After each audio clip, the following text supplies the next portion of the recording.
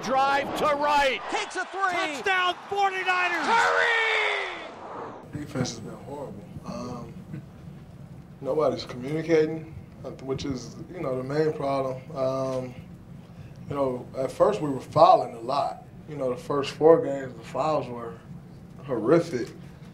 And then tonight, uh, we you know we fouled a bit early, and then we we cut back on that and turned the ball over. You know, and it's hard to defend that. So, you know, you, you cut those what 17 turnovers down from 17 to 12. Uh, you probably take away nine of those points, and it's a completely different defense. So.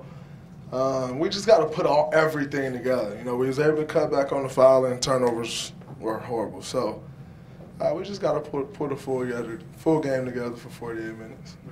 It's so early that um, you know to expect our guys to be executing. Um, you know the way we were five months ago is probably not going to happen. Uh, so we're trying to take it one step at a time, and I'm trying not to go crazy too much on them. Um, but you know the film from Dallas was blatantly obvious. It was all the reaching. Tonight the film, I mean, it's going to be so obvious. Um, and we talk all the time. You know, one of our cardinal sins is uh, shot goes up, you do that. It's um, there's no there's no reason for it. Um, shot goes up, you got to turn and find somebody, put a hand on him, box him out, whatever.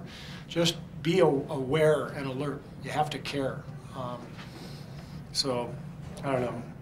My dad used to tell me a story of uh, it was a joke, but he said, the uh, "Boy comes home from school with a bad report card."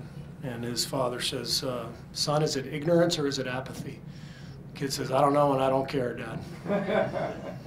so either we don't know or we don't care um, how to box out. So we're going to have to figure out which one it is.